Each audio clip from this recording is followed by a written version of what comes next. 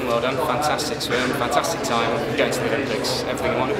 Yeah, definitely. You know, it's all about coming to the Olympic trials, racing fast in front of a home crowd, um, getting the excitement of what it's going to be like. You know, in a few months' time in the home Olympics. I've qualified for the team now, and um, you know, pretty much job done.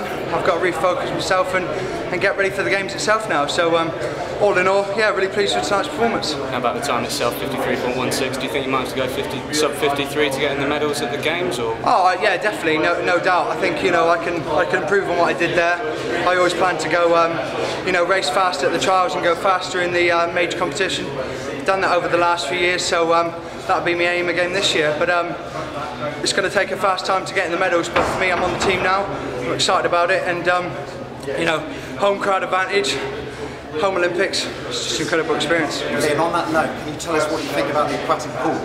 Oh, fantastic! Yeah, fantastic facility, the best one we've got um, in the country, and it, it, rivals some of the best in the world. So it's nice to come in, in here and swim for the first time, and um, you know I'm really enjoying the experience. The home crowd's fantastic.